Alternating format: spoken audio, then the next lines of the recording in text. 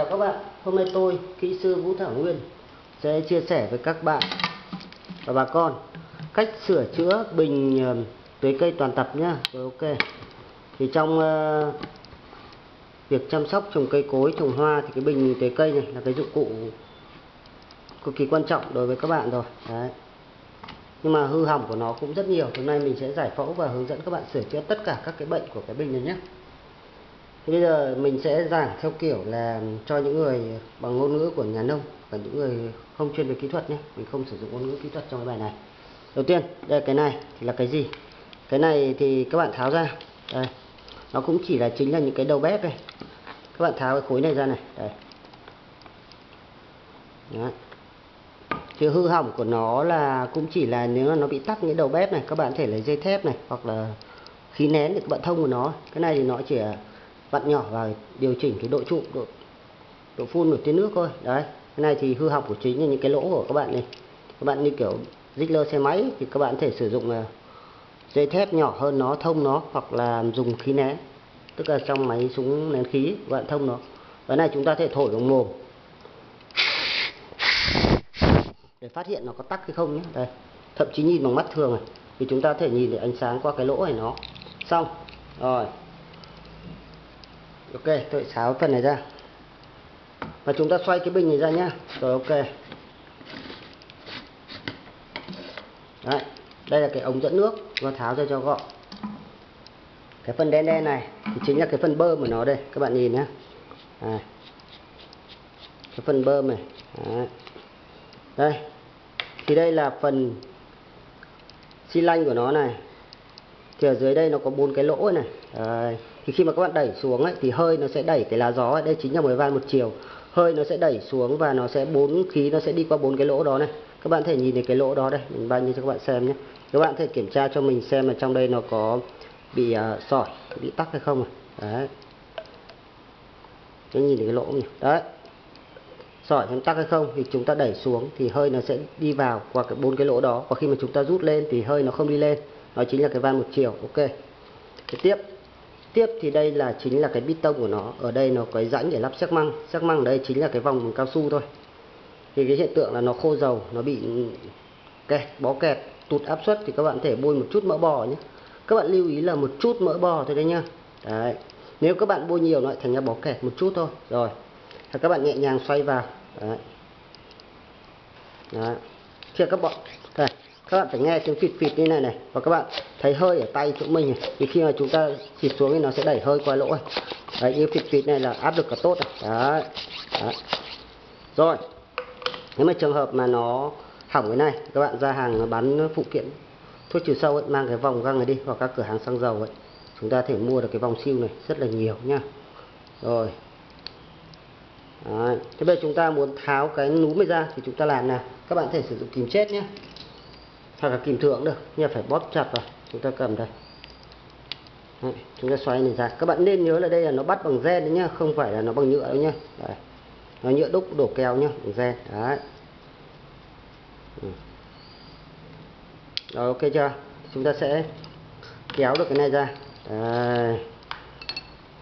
thì đây là chính là cái phần mở khí này. Khi mà chúng ta nhấn này thì khí khí này nước này nó sẽ bị chanh áp và nó sẽ đi theo cái lỗ này và lúc nước nó sẽ tụt ra đây đây chính là cái khóa mở hơi. Đấy dẫn mở ra hơi nó sẽ phụt lên và nước nó theo cái ống nó dẫn lên này. Thì để tháo được ra cái này thì các bạn làm như nào? Đây các bạn thấy không? Đấy. các bạn sử dụng một cái kìm dẹt này à là cái tuner vít dẹt này. Các bạn mở cho mình cái phe này ra nhé. Đây, các bạn mở phe này ra. Đấy. mở cái phe nó cái phe nhựa nhá. Đấy. Đấy mình vừa làm bật ra rồi này. Đấy thì các bạn sẽ lôi cái này ra. Đây cái phe nhựa nhá. Rồi để mình đi nhặt cái lo xo à, cái cao su. Cao su thì cũng không thể lắp được sai nhá. Đấy khi mà các bạn đây nó như này rồi. Thì khi các bạn mà tháo được cái phe nhựa ra thì các bạn sẽ lôi được cái này các bạn này lôi được cái kèn này ra.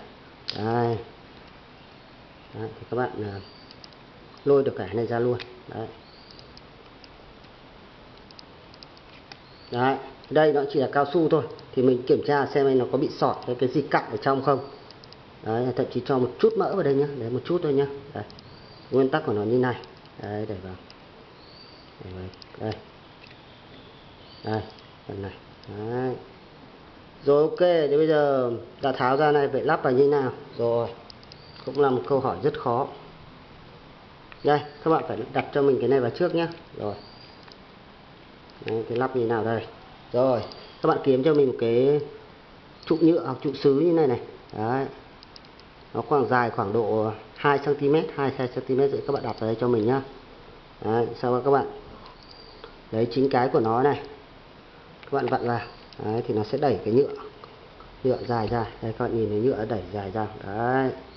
Này nó cũng chỉ một cái đồ gã thôi. Đấy, đấy. đây đây chúng ta đẩy vào nhá được chưa? Và chúng ta gài cái phe nhựa vào. Gài chặt vào là xong. Đấy. Và cái phần à,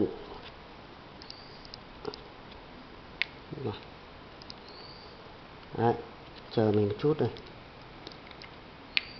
Đấy. các bạn để nghiêng nghiêng đi một chút nhé nghiêng nghiêng đi một chút cái, cái nhựa này rồi. Thì xong các bạn lắp cái phe nhựa vào. Đây nó vào rãnh của nó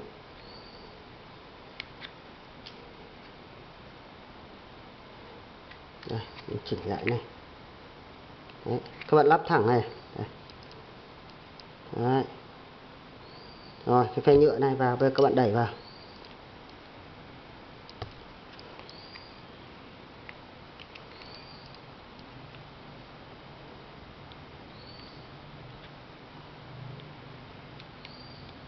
Đấy, đẩy thật sâu rồi nhá. Giờ đẩy thật sâu vào xuống. Đấy, rồi các bạn tháo cái này ra. Ừ. Đấy, thì bây giờ các bạn đã bóp bóp được nó này bóp bóp và nó kéo kéo này lên. Đấy ok chưa? Rồi. Thì các bạn à, lắp vào cho mình. Đây là cái phần này nó chỉ là phần mở khí thôi để xem nó tắc cạn hay không. Thì rồi các bạn lắp vào. Đấy. Này thì đơn giản nhé cho này vào đây rồi. Bạn lên. Đấy là xong. Thì tất cả cái hư hỏng của cái bệnh à, trong cái bình này nếu mà áp lực tốt mà không phun được lên đấy thì chúng ta phải kiểm tra cho có bị tặng cắt tặng tắc cạn hay không rồi các thứ xem nó mở được không. Đây nó mở khít được cái này ra. Nó mở ra thì khí nó lên nó sẽ đẩy cho nước lên. Đấy cái này. Đấy các bạn thấy không? Mỗi lần đấy nó kho xuống này. Đấy thì trên đã mình đã trình bày cho bạn toàn bộ cách sửa chữa cái bình phun nước cho hoa này. Chúc các bạn thành công.